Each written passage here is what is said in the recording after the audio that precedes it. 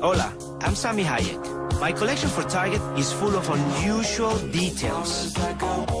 From dorm life to apartment living, great design can surprise you.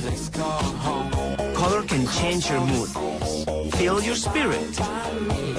My designs are multifunctional and fun.